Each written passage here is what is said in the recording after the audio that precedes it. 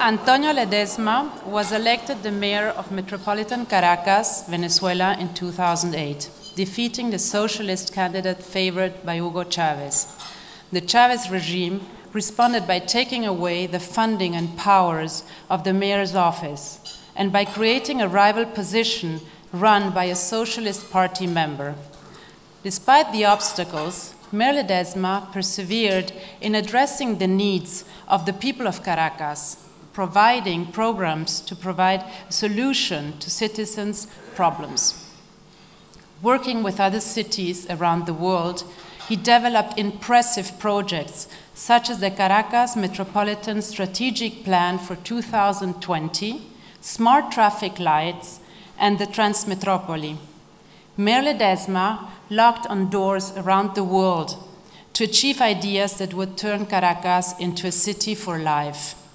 On July 3, 2009, the mayor went on a hunger strike in defense of his employees' salaries, which were taken away by the Chavez regime, and for the freedom of others who had been arrested for demanding the same. Mayor Ledezma has been one of the most vocal critics of the ruling party, now headed by President Nicolas Maduro. For all of this, police came to arrest Mayor Ledezma last year in a violent raid on his office. Based on trumped up charges, he is now a political prisoner facing up to 26 years in jail. I now ask you to please watch a video.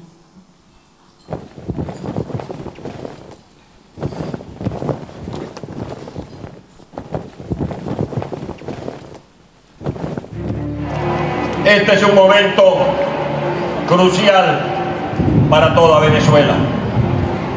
A nosotros nos corresponde saber leer e interpretar estas coyunturas.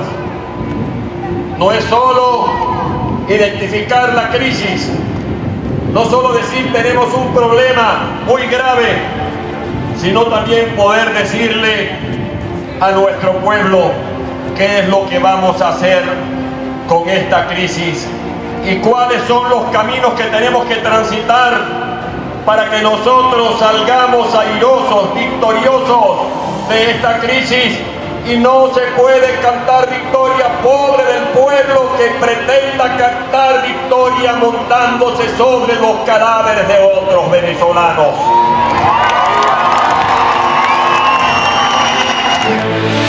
This is CNN Breaking News. Government of Venezuela has arrested the mayor of that country's capital, Caracas. A Venezuelan military source confirms to CNN that intelligence agents arrested Mayor Antonio Ledezma because of his alleged involvement in a coup against President Nicolas Maduro.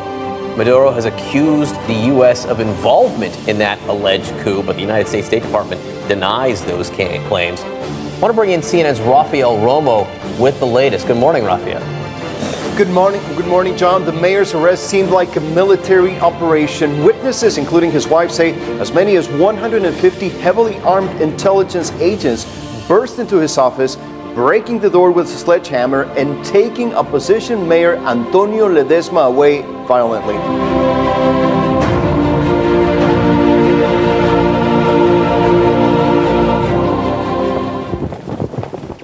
To accept the award, would like to call up the mayor's daughter, a courageous human rights activist in her own right, Antonieta Ledezma.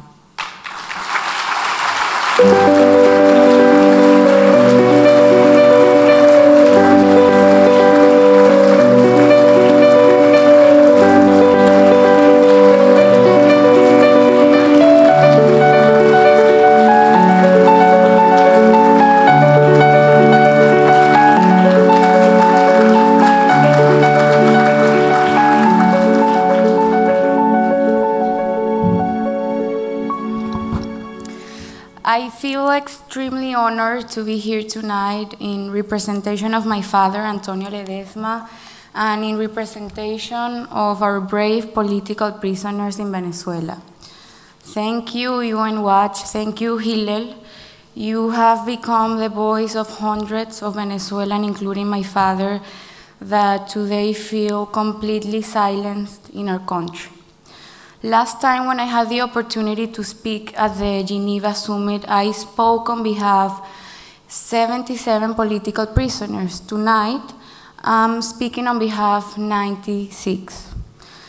Sadly, this is a number that keeps increasing in my country because our legal system is used as a weapon to intimidate, to threaten, and to fear everyone who dares to speak against this tyranny that has been destroying my country for 18 years. I am 24 years old and I don't know anything differently, anything different than this uh, regime. Tonight, I don't want to only speak about that politician you saw up there on that video. I want to also speak about a loving father, a loving husband, a loving friend, and about the bravest men I've ever known that I have the privilege to call father.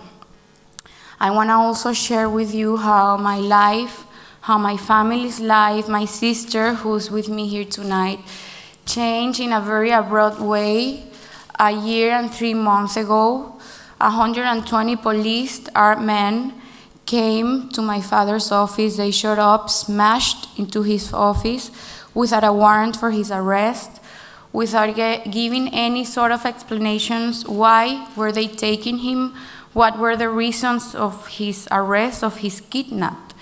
And for the longest uh, nine hours of my life, for the longest nine hours of my family's life. We went through the psychological terror of not knowing if my father was alive, of not knowing what was happening and if he was being tortured. And it was until late hours of the night that um, the president, the dictator Nicolas Maduro, came up on national TV and said that my father was being charged for, conspir for conspiring a coup against his government. Something that until today we don't have one proof that can, you know, ally that this is uh, truth or not. So uh, he had his hearing a year after his arrest. Hearing that was supposed to happen 45 days after his arrest, it happened a year after. And in this hearing, the public prosecutor and the judge are trying to give my father two charges uh, conspiracy and criminal association. Both charges can land him up in jail for 26 years. I remember that that day I felt desperate. Anyone who has a father can imagine the desperation of imagining my father ending up his life in jail. And I hugged him and I cried to him desperately and I asked him if he was scared, what was our next move. So he hugged me back and he told me that the only fear he had was imagining to lose Venezuela to this dictatorship. So this is Antonio Ledezma, this is my father. He is today the only mayor of the world who was elected and re-elected for almost 100,000 voters who is illegally arrested. He is the second civil authority of my country. And with this, I'm not trying to make him sound more or less important than our other political prisoners. With this, I want you all to imagine the vulner vulnerability that we're feeling as Venezuelans when something like this can happen to a mayor. Imagine what can happen to the rest of us. Seeing my father in jail has been definitely the hardest and and the most painful experience that I've been through in my life. But his strength, his courage has made me see this in a different perspective. Not everyone has the privilege that I have to say, to have a father who gave up his freedom, so tomorrow I can have a free country. I want to conclude saying something that I've been asking to myself why a country like Venezuela is still part of the UN Human Rights Council. Why in a country where human rights mean nothing? Why when children are dying at hospitals every day due to the lack of medicines? Why, when we are going through the worst political and social humanitarian crisis that we've ever been lived in our history, and why when stories like my father's sto stories are still happening. Thank you. Thank you. UN Watch.